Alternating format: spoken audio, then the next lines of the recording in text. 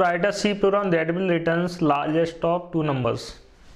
largest among two integers in that case again we are creating function name as large or something largest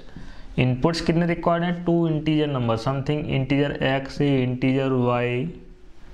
in that case return type as we are taking as integer return क्या कराना है largest number in that case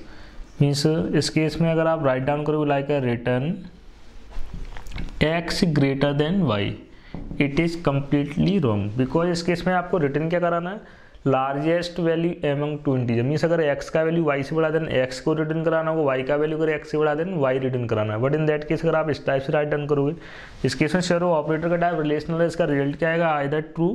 और false means इस case में return क्या हो either one और zero not a numbers और आपको नंबर रिटर्न कराना इसलिए सेपरेटली प्रोवाइड क्या करना होगा? Either if else conditions or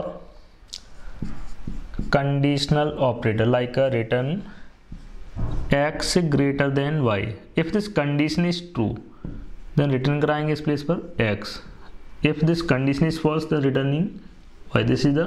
correct way of checking given number is largest or not same as अगर smallest number के लिए चेक करना then function name के प्लेस पर रीनेम करेंगे as a smallest then one more things condition के case में check करेंगे। If